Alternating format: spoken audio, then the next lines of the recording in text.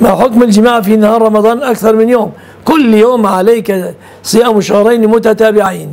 إذا كان الإفطار في النهار بجماع. إذا كانت الزوجة مطوعة لك حكمها حكمك.